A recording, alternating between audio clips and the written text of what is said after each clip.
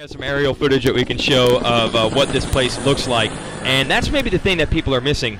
I didn't know actually until I came to announce this race for the first time in 2008 how crazy Daytona is. Even if you've been to NFL stadiums, it is nothing like going to a super speedway. No, no, no, no. It's uh, I mean, you can see these. I mean, such a cool place. I love aerial shots of uh, of Daytona International Speedway and Daytona Supercross. I mean, you can you can see there. We switched up the track a little bit, uh, made it a little bit shorter. Um, I think that it worked out great uh, for the pro supercross. And I think it's working out great for the amateur supercross. We didn't really, uh, other than tweak the jumps a little bit for the amateurs, we didn't even have to change the layout of the track.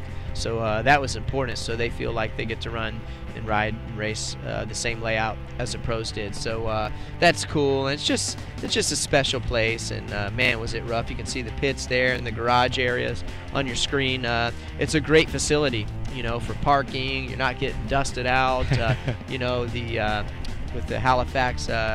Uh, emergency center here on site. Uh, that's second to none mm-hmm. compared to any other amateur track that we go to and pro track for that matter. Yeah, yeah, really. for the most part. so uh, all those things add up.